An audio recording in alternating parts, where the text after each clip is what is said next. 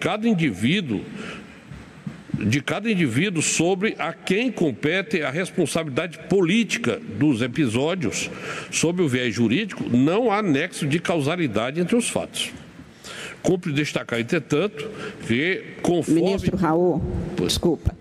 Presidente, eu queria só um esclarecimento. Por favor, ministra Carmen. Cumprimentando, porque estou interrompendo o voto. Vossa Excelência me permite apenas um esclarecimento, Claro. eu estou seguindo o voto com muito gosto, como sempre, escuto os colegas. Cumprimentando todos, senhor presidente, Vossa Excelência, senhores ministros, senhor vice-procurador-geral eleitoral, senhores advogados.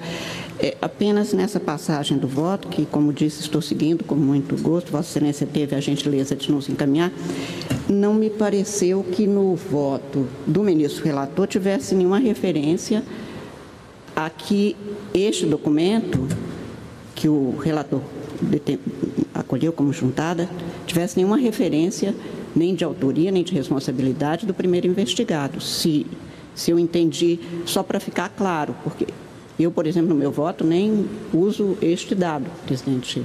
Eu fiz um voto apenas da cena que é o objeto do cuidado.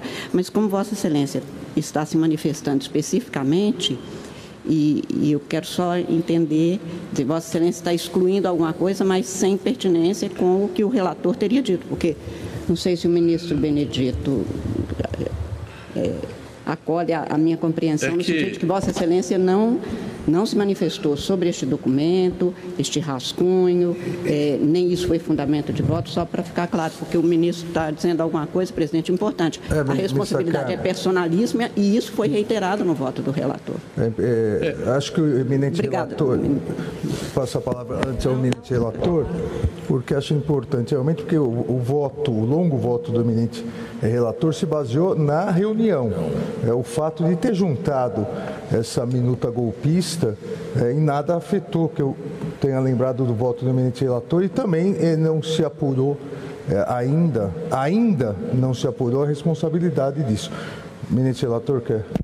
Obrigado, presidente. Inicialmente, sou do Vossa Excelência, demais integrantes da Corte de Advogados e todos que estão assistindo. Exatamente isso, no voto foi claro, explicando. Primeiro, não está se apurando aqui minuta.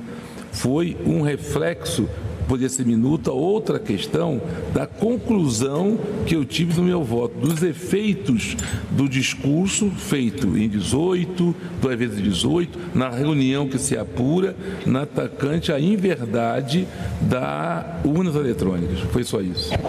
Obrigado. Devolvo a palavra ao eminente ministro. Obrigada, Raul ministro. Raul.